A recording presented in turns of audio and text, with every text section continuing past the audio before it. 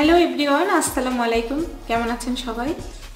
আশা করি সবাই এই দুর্যোগ মুহূর্তে এই করোনা মোকাবেলার করোনা ভাইরাসের ভিতরেও করোনা মোকাবেলা করার জন্য আমরা মোটামুটি ভালো আছি। কারণ আমরা আমরা আমাদের ভিতরে যতটুকু প্রয়োজন আমরা ততটুকু ভালো থাকার চেষ্টা করব। অর্থাৎ আমরা চাইলেই তো সম্পূর্ণ ভালো থাকতে পারব না, তাই না?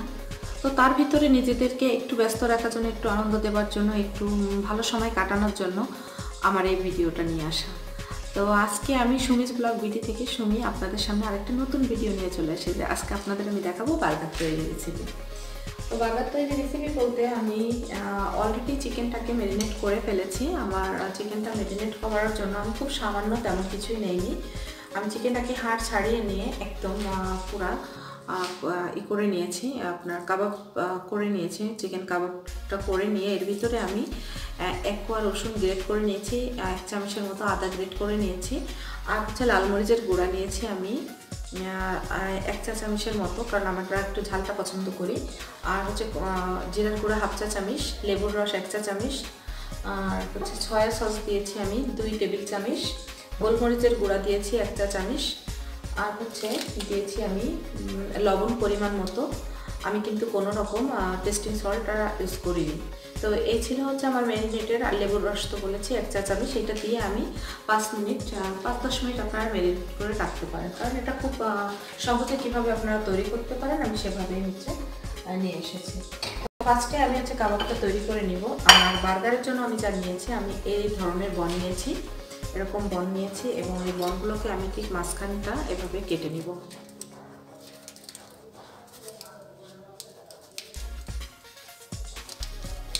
এরকম সুন্দর করে আমি মাঝখানটাকে কেটে দুই ভাগ করে নেব। এবং এটাকে আমি আজকে কিন্তু প্যানে কীভাবে আপনার চুলাতে প্যানে বসায় কীভাবে বার্গারটা তৈরি করতে পারেন জাস্ট সে সহজ মাধ্যমটাই আমি আজকে আপনাদের সামনে দেখাবো। তো আমি আগে বনগুলোকে ভাগ করে নিই।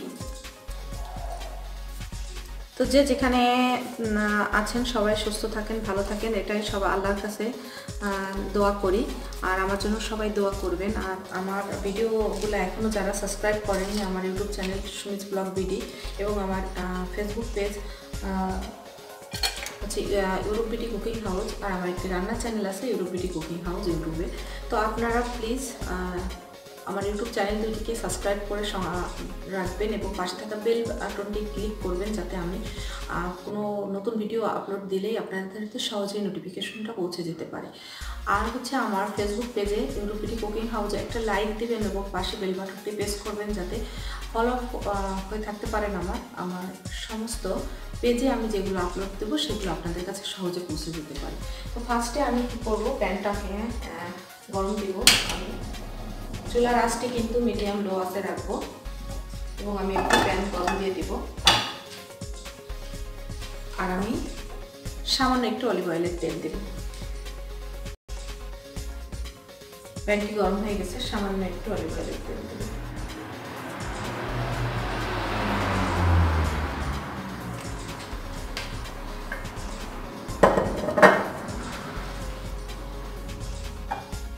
এখান থেকে কাবাবের মতো করে।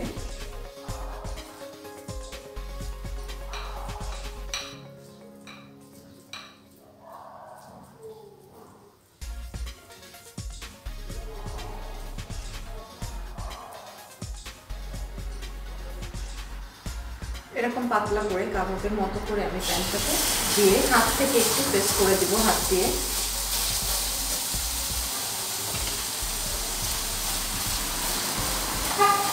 আপনারা দিলে বুঝতে পারবেন যে খুবই খুবই সুন্দর আপনার এবং খুব সহজভাবে এভাবে করলে টেস্টটাও কিন্তু অনেক। এটা কিন্তু আপনারা বাচ্চাদের টিফিনে আপনারা দিতে, করতে, করে নিতে পারেন, দিতে পারেন। তো এভাবে খুব সামান্য জিনিস দিয়ে যে আমি মাখিয়েছি, আমারটা কেমন লাগছে আপনারা করে দেখতে পারেন, অনেকটা আপনার টেস্টটা বেড়ে যাবে।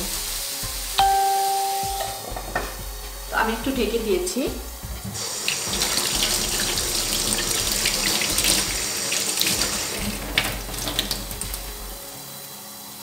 ঢেকে দিয়ে আমি কিছু সময় পরে এটাকে উল্টিয়ে দিব।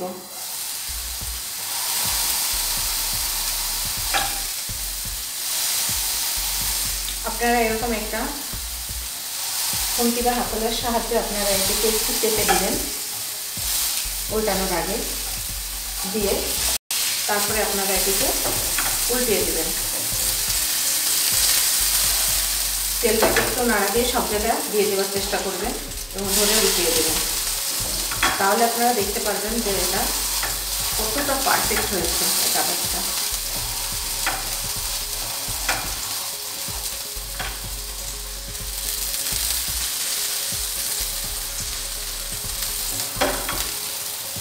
এবার আমি এটিকে আবার একটু ঢেকে দেব। আবার একটু সময় আমি ঢেকে দেবো এটাকে। খুব সহজভাবে আমার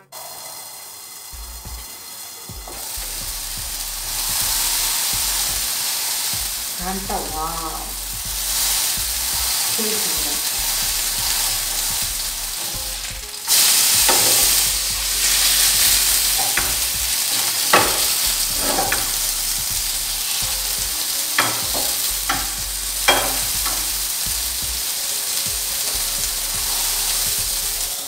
আবার একটু ঢেকে দিই সামান্য সময়ের ভিতরে আমাদের এটা কমপ্লিট হয়ে যাবে। হয়ে গেছে আমার। এখন আমি নামিয়ে ফেলব।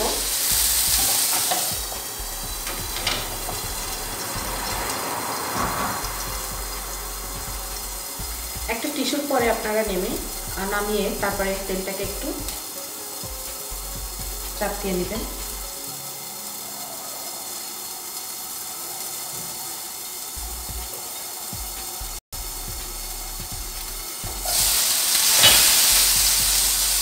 কমপ্লিট আমি দেখিয়ে দিচ্ছি যে কীরকম হয়েছে দেখতে। দেখুন, দেখলেই বুঝতে পারছেন যে এভাবে আপনারা একটু টিস্যু দিয়ে এভাবে চেপে, এভাবে একটু চেপে আপনারা তেল থেকে একটু মুছে নেবেন। তাহলে হচ্ছে বার্গারের ভিতরে কখনো তেল অবস্থা কিন্তু আপনারা দিবেন না। তো এবার আমি দেখিয়ে দিচ্ছি আমার কেমন হয়েছে। অনেক। এভাবে আপনারা তৈরি করে দেখুন। এখন আমি তৈরি করে ফেলব আমি। তার আগে হচ্ছে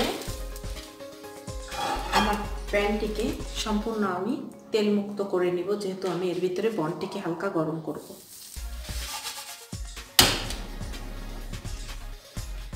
এবার আমি চুলাটা ধরিয়ে দিয়েছি।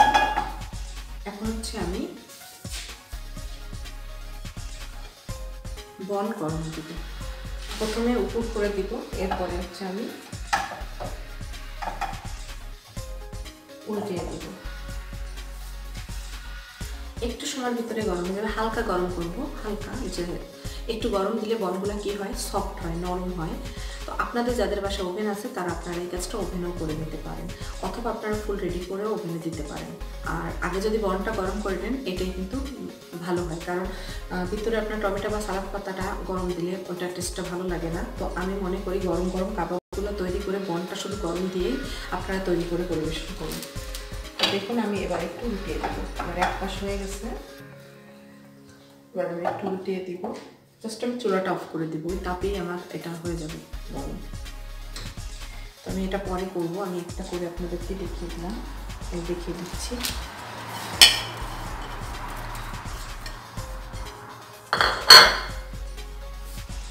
চুলা অফ করে দিয়েছি।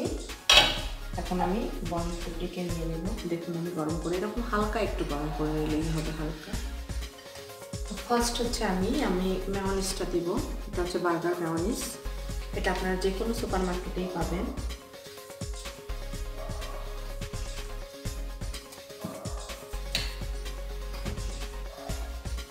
স্যান্ডউইচের মতো করে জেলি মাখান যেভাবে আপনারা ব্রেডে এভাবে করে ম্যামনেসটাকে সুন্দর করে সব জায়গাটা মাখিয়ে নেবেন।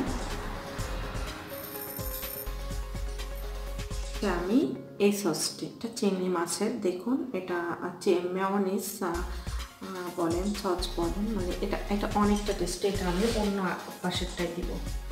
একটাতে আমি দিয়েছি বার্গার মেয়নিজ আর একটাতে আমি দিব এটি।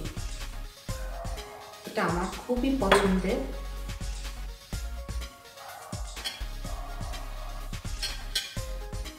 এটাকে আমি এভাবে মাখিয়ে নেব।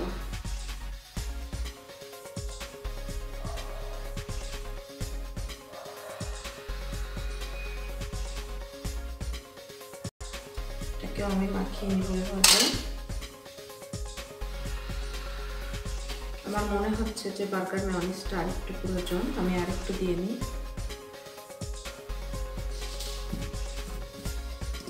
এটাও আরেকটু দিই, কারণ সস আর মেয়নিজটা যদি আপনারা বেশি দেন, তাহলে টেস্টটা সত্যি একটু বেশি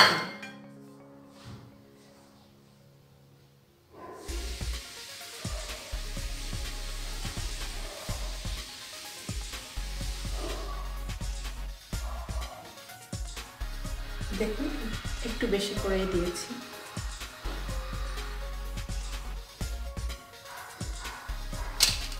তো এবার হচ্ছে আমি ফার্স্ট হচ্ছে এই যে মেওয়ানিজের পরে একটা সালাদ পাতা দিচ্ছি ফার্স্টেই এরপরে হচ্ছে আমি কাবাবটিকে দিব।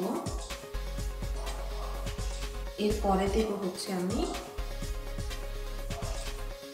না, টমেটো আগে না, আগে আমি হচ্ছে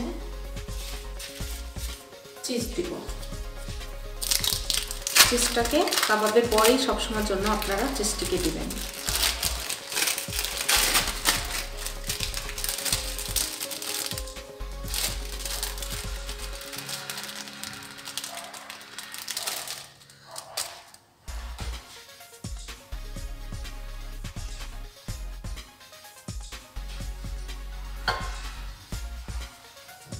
এরপরে হচ্ছে আমি টমেটো দিব।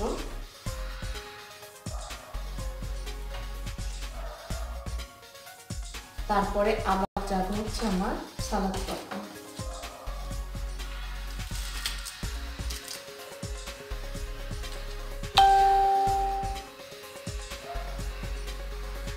সালাদ পাতাটার পরে আমার লাস্ট স্টেপটা আসতেছে।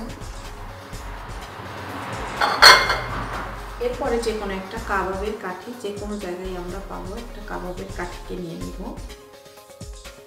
মাথাটাকে হালকা একটু ভেঙে নিতে হবে।